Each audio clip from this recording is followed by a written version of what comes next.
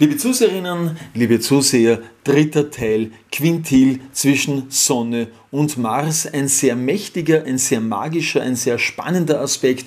Und wir sehen hier eben diese beiden Kontrahenten. Auf der einen Seite unsere Heimat eingeschlossen und geschwächt durch das zwölfte Haus, eingeschlossen im elften Haus im Krebs. Man möchte sich auf die Heimat besinnen, auf Krebs gerade. Man möchte für die eigene Bevölkerung mehr tun. Und gleichzeitig sehen wir den anderen Kontrahenten, Herrscher des neunten Hauses, der wilde Westen, der hier aus diesem Quadrat zu Pluto leicht abzulesen eine große Angst vor Macht und Kontrollverlust hat. Ja? Und schauen wir uns einmal an aus der Sicht äh, des Wilden Westens, wer ist denn, wer ist denn der Pluto? Na, da zählen wir, okay? 1, 2, 3, 4, 5, 6, 7, 8. Ja? Also das heißt, Pluto steht für den Niedergang, für den Niedergang und zwar steht er aus deren Sicht gesehen im zweiten Haus. Das heißt, der Herrscher äh, ich berichtige, ich berichtige im neunten Haus. Im neunten Haus, das wäre dann, naja, die Macht über die Ferne. Also das heißt, aus der Sicht äh,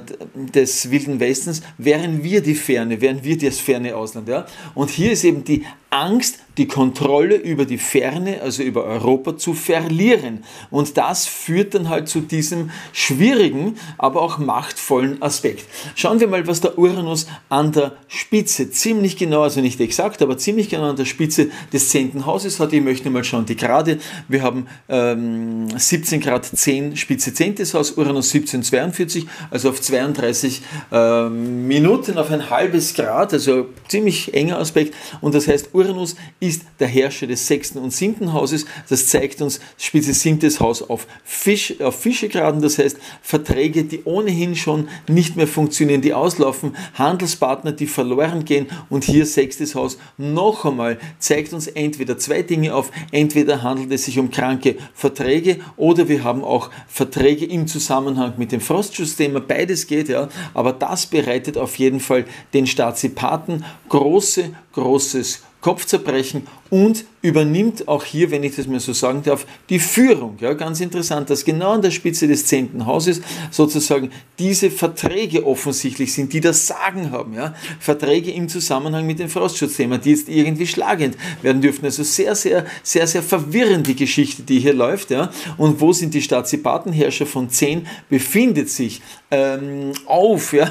kurioserweise, auf Krebsgraden, ja? auf 8 Grad 41. Ja, ja Volksgenossen, wir wollen nur euer Wohl und euer Bestes. Und es war immer nur die Gesundheit der Bevölkerung unser Anliegen. Und wir waren selbstlos und freundlich und lieb. Ja, die Schalmein, Dudelklänge können wir schon überall vernehmen, die Beschwichtigungen, äh, die Relativierungen, ja, wir wollten, wir hätten, wir mussten nicht und wir bla bla bla, großartige Sachen, die laufen. Und die Venus ist in den Zwillingen. Sehr kommunikativ, sehr luftig, sehr sozusagen flexibel, wenn wir es mal so ausdrücken wollen.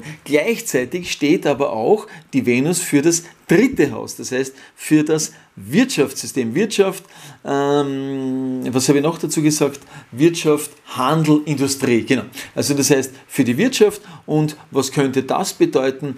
Naja, wir haben hier auch sozusagen den Ernst der Lage. Ja, der Ernst der Lage Herrscher von 3 in 10, das heißt, die Lage ist ernst. Offensichtlich wird hier kommuniziert und hier würden dann die äh, Krebsgrade bedeuten, kommuniziert, ob man hier nicht im eigenen Lande etwas machen könnte. Ja. Andererseits könnte das dritte Haus auch für die Medien stehen, das heißt, dass die Medien no, na, nicht sozusagen unter völliger Kontrolle unserer Staatsipaten sind und dort eben aus dem Volksempfänger sozusagen nur die wahre, die Wahrheit und nichts als die reine Wahrheit kolportieren. Ja, was sehen wir noch? Wir sehen, geht sich aber zweites Haus nicht aus, das Finanzsystem Oh ja, geht sich aus. Geht sich aus 1754, das sind bereits Skorpiongrade, die zeigen uns auf, dass das Finanzsystem in Schwierigkeiten ist. Naja, war nicht anders zu erwarten. Herrscher von 2 in 10, das heißt, die Lage ist einerseits ernst, auf der anderen Seite sehr konzentriert und mit Merkur in den Zwillingen auf Schützegraden ist man natürlich sehr nervös, aber auch hier sehr clever und sehr raffiniert. Und gleichzeitig sehen wir wieder die Konstellation Herrscher von 2 und Herrscher von elf. Ja? Also das heißt, Merkur ist gleichzeitig Herrscher des zweiten Hauses und Herrscher des elften Hauses. Das heißt, wir haben hier wieder die unselige Verbindung, Gelder und verbündete Staaten, und dass dieses Thema jetzt sehr, sehr ernst ist. Aber ich sehe jetzt hier als Aspekt, ist der Neptun schon schlagend, wenn ich das, naja, Neptun, 4, Neptun 25 wäre bereits ein schwaches Quadrat auf 4,5 Grad, kann man gelten lassen und Neptun wäre dann natürlich als Herrscher des achten Hauses in Acht für, für ähm, sowohl für das Finanzsystem als auch für die verbündeten Staaten. Ich würde das in Summe dann einfach als den Euro bezeichnen. Ja? Der Euro, weil das ist sozusagen der Staatenverbund der Euro-Mitgliedstaaten, dass hier schon starke Auflösungs- oder stark gemeint, dass hier jetzt schon Auflösungs- Zeichen erkennbar sind, nicht erkennbar natürlich für Christine Lagarde-Robe, die wieder einen äh, grün alternativen Preis entgegengenommen hat, weil sie sich so sehr um CO2 und Umweltschutzanliegen äh, annimmt und ich finde das auch großartig und wunderbar und das gehört auch honoriert, nur leider hat sie ihre Funktion vergessen, für die sie eigentlich fürstlich entlohnt wird. Aber wie gesagt, ich glaube, man soll die Dinge nicht zu eng sehen. Man muss das immer großzügiger sehen, gar keine Frage. Die Mondenergie, hier haben wir den Mond im Krebs, also sehr einfühlsam, aber auf Schützegraden im 11. Haus eingeschlossen. Das heißt, die Gefühlsenergie kommt derzeit nicht so richtig zu tragen und wird natürlich auch bedeuten, dass hier sozusagen, naja, im Bereich der Alliierten es zu starken emotionalen Momenten vielleicht kommen könnte. Wir sehen den Saturn als eingeschlossenen Herrscher des fünften Hauses. Im sechsten Haus ist er noch am Deszendenten. Ich würde fast ja sagen, Deszendent ist 28, 35, Saturn ist 24, 44, geht sich eindeutig aus. Also das heißt, der Saturn gilt noch für den Deszendenten, aber wir sehen, er ist untergegangen, er ist rückläufig, er ist im sechsten Haus, schaut nicht gut aus und ist obendrein noch eingeschlossener Herrscher des fünften Hauses. Also auch hier erkennen wir, dass das Thema Wohlstand, Wachstum und Lebensstandard, auch Urlaube, ja, auch Urlaube sind hier sehr schwierig besetzt, da funktioniert vieles nicht mehr. Und Spitze fünftes Haus steht zwar im Schützen, also jetzt ist der Saturn nicht der unmittelbare Chef, aber der Chef des fünften Hauses, der Jupiter, Jupiter befindet sich im achten Haus. Naja, ob das besser ist, wage ich zu bezweifeln. Herrscher von 5 in 8, würde ich sagen, das Thema Wachstum, Wohlstand ist sozusagen ähm, stark im Rückzug begriffen. Sagen wir es mal so. Oder positiv ausgedrückt, ist in einer starken Transformationsphase äh, begriffen. Das würde aber auch bedeuten, wie gesagt, was ich vorher zum Saturn gesagt habe, mit dem Urlaub gibt es Schwierigkeiten und natürlich können diese Schwierigkeiten dann auch mit der Luftfahrt zusammenhängen, auch wenn ich jetzt hier, schauen wir mal, wie es der Luftfahrt aus, ob der Luftfahrt die Luft ausgeht, naja, also die Luftfahrt, wenn das neunte Haus jetzt sozusagen die Luftfahrt wäre, die Flugzeuge ist das elfte Haus, ja. Flugzeuge wäre das elfte Haus, naja, elftes Haus mit Quadrat. Also sowohl bei den Flugzeugen sehe ich ein Quadrat, als auch bei der Luftfahrt selber neuntes Haus äh, also Mars-Pluto-Quadrat. Also ich würde in keinen Flieger steigen. Äh, das Horoskop weist ebenfalls darauf hin, aber bitte sehr, ich meine, was auch immer, ja, wie man die Dinge auch immer sieht. Ja, ich habe, ich habe kurz mal nachgedacht, kurz ist ja schon lange vorbei, ich habe ja, schon wieder Verschwörungstheorie, wahnsinnige Verschwörungstheorie, Lachgas. Ja. Lachgas äh, wird bezeichnet als, äh, wie heißt das noch schnell, die, die Stock, Stickstoff, die Stockstift, Stick, Stick, Dick, Dickstift, Stick, nix, nix, nix, nix Oxid. Die Stickstoffmonooxid, jetzt haben wir es geschafft.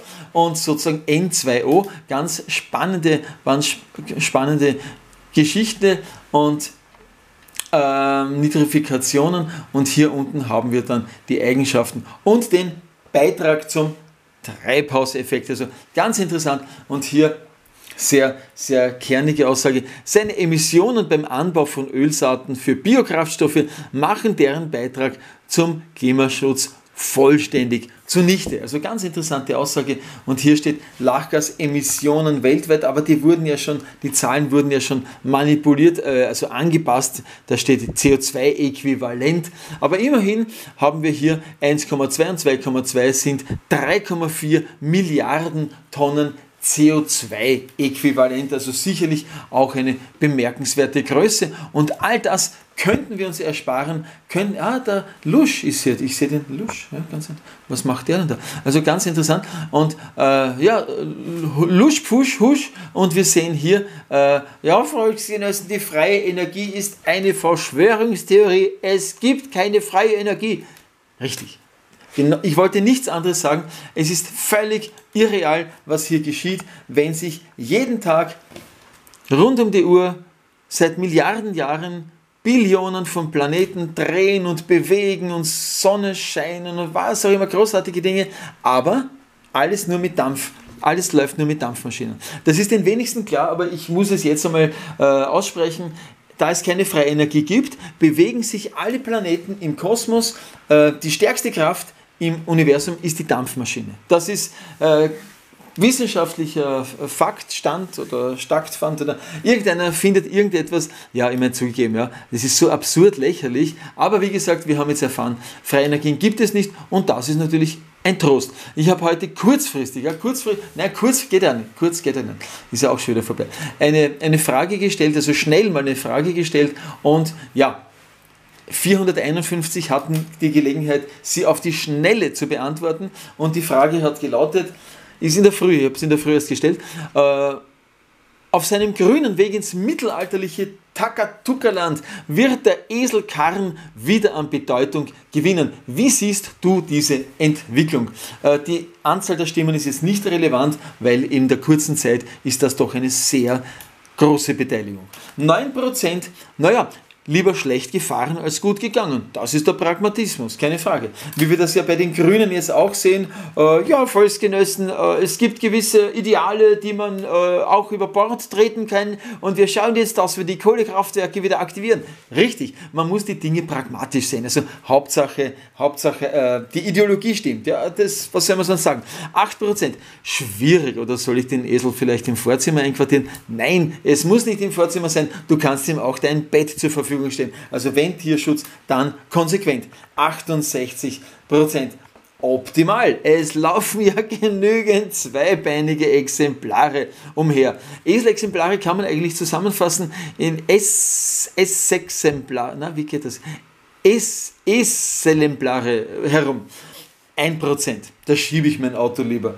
Naja, gut, ich meine, kann man auch, ja, kann man auch. Autoschieben ist cool, ja, ist cool, aber bitte nicht auf der Überholspur. 15% Supi, völlig öko, CO2-neutral und Dünger gibt es auch noch. Die Frage war nicht ernst gemeint, also ich vermute, ich hoffe, das ist dir schon aufgefallen. Und die Roswitha schreibt, eine super Vorstellung, ich liebe vierbeinige Esel. Naja, bitte, wir müssen bedenken, in der Vergangenheit, ja, in der Vergangenheit, ja, der ähm, Esel des Müllers ja, ist ja noch in den Auszählreimen der Kinder vorhanden. Ja? Müllers Esel, der bist du. Ja? Also der Esel war ein ein wesentlicher Bestandteil unserer früheren Zivilisation. Ich glaube, ohne den Rücken und die Tragfähigkeit und die Belastbarkeit des Esels wären wir nicht da, wo wir heute wären. Ja? Also ich finde, der Esel gehört auch einmal, wie sagt man, gewürdigt und geschätzt. Und das meine ich jetzt nicht böshaft oder boshaft oder zynisch. Hm? Böse, böse. Böse kommt äh, von dem altdeutschen Wort klein. Bösendorf heißt nur das kleine Dorf. Ja? Äh, der Günther schreibt, ich wähle 3 und 5. In Animal Farm war der Esel war er der Esel? War das nicht das Pferd? Ich weiß nicht. Äh, gegen die Schweine und, oder nein, der, der, der Boxer war das, war, der, war das Pferd. Und voll Öko, aber ob der Esel CO2-neutrale Verdauungsgrad, das wissen wir nicht. Das, das, wissen wir nicht, aber wie gesagt, vielleicht kann man hinten einen, einen äh, Methangassack anbringen und mit dem kann man dann wiederum, ja, da, darf man, eigentlich darf man gar nichts mehr, aber ist egal, ist wurscht. Es soll Spaß machen, das ist wichtig. Äh, Tierfreundin schreibt, diese Entwicklung sehe ich kritisch, da es leider wieder mehr Tierleid erzeugen wird. Naja, äh, das sehe ich nicht ganz so, ja, weil äh, wir würden wieder mehr Kontakt zu Tieren bekommen. Und ich glaube, äh, die Kinder haben die Tiere, die Esel und Pferde sehr geliebt. Ja. Also die Kinder und Pferde haben sich wirklich gut verstanden und wir haben all das aus unserem Leben total verbannt. Ja. Also ich kann mich noch in meiner Kindheit an das Hufe, an das äh, wie sagt man, geklapperter Hufe, kann ich mich noch sehr gut erinnern. Ja, wenn die Hufeisen auf dieses Kopfsteinpflaster geklackert sind, das ist sehr markant gewesen. Ja, und die Rosäpfel, die hat es halt auch gegeben. Ja. ja. Aha, aha. Okay, Bagel schreibt, Gott sei Dank lernte ich in den jungen Jahren noch den Umgang mit einem Pferdepflug. Oh, wow, alle Achtung. Ja, hinterm Pflug gehen ist nicht ohne, ist nicht, ist nicht ohne. Na gut, ich würde sagen, großartige Beiträge. Danke für eure schnelle Entschlossenheit. Wie gesagt, diese Frage war halt eher im Scherz gemeint. Also bitte nicht auf die, auf die Brief- oder Goldwaage der auf die äh, Feinstaubwaage legen. Und ich würde sagen, äh, weiter zum vierten und letzten Teil, den habe ich ja schon vorbereitet. Dein Astrowolf Ende.